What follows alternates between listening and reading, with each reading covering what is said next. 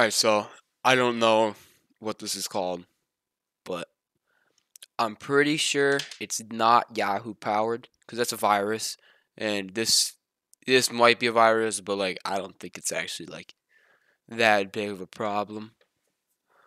I don't think. Well, it is a problem. I, I don't think it's a virus, right? I think because you can just change it real quick. But what you want to do is you want to go to Microsoft, right?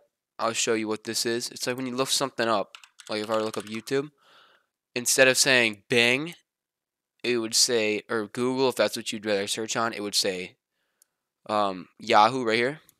So to fix that, what you want to do is you want to click these three dots in top right corner, and you want to go down, and you'll find settings right here. You'll click that, and you'll go to Privacy Search and Services. And you, you want to scroll down, and you'll see Address Bar and Search. And you want to click Manage Search Engines right here. And you'll see right here, these are all of the search things I have, these search engines, engines and stuff. But what would happen to me yesterday is it would put me on Yahoo, but I would not see Yahoo right here like notice I, like I don't have this at all. Like I could make this my default right now. So if I made this my default and I looked up something like YouTube, it would put me on Yahoo. I don't like I don't like Yahoo, so I don't want it to be on Yahoo. So I'm gonna make Bing my default. But that wasn't there for me to delete it yesterday.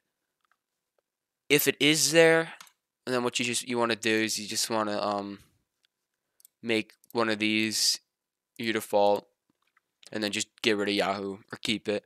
But if it's not there, what I did yesterday was I found Bing, like it was there, so it recommended default. I made it my my thing. But what would happen was I would just I would search them up and would still be on Yahoo.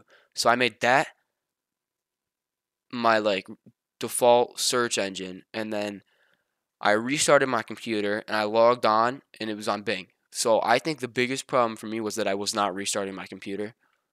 So I, what you want to make sure you do is after you set this as your default, you want to restart your computer, and that way it should be on Bing.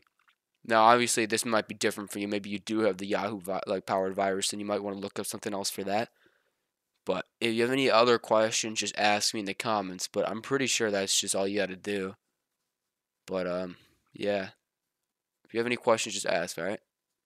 Good luck figuring it out.